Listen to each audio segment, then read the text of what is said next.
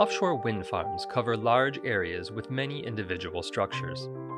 From the perspective of the mariner or aviator, however, they need to be seen as a single obstruction. A marking concept will bring together several marking methods such as ID marking, marine lanterns, fog signals, and aviation lighting, just to name a few. Adding to the complexity, individual turbines can have different component arrangements. Therefore, a specialized system is required to integrate all the components together, be flexible enough to handle different configurations, and scale up and down as necessary. The system also needs to ensure synchronization throughout the wind farm, as well as provide remote monitoring and control while supplying local battery backup power.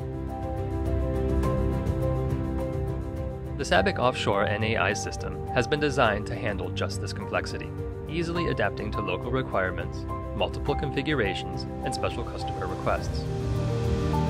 The NAI Field Bus, short for Nav-Aid Interface, provides a scalable building block for an offshore wind farm marking system. Using the NAI communication protocol, almost any combination of products can be added to the bus with fully addressable control and monitoring. The NAI controller, placed on each turbine, acts as a facilitator between the individual components and the Parkmaster server. During commissioning, the NAI controller will configure and give a unique address to each component. This eliminates the need to pre-program components, which could be accidentally installed on a different turbine.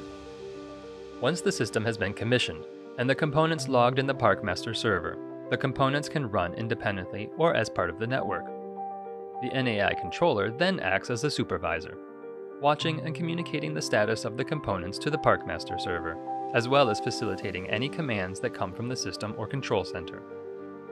The Parkmaster server collects the information about all the components from the turbines and acts as the information center for the Nav-Aid system. Through a SCADA interface, the Operations Center can monitor the status of the system as well as manually control it if necessary.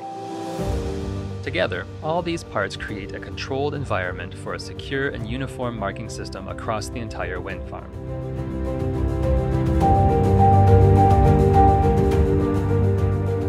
SABIK Offshore, your experts in marking offshore wind farms.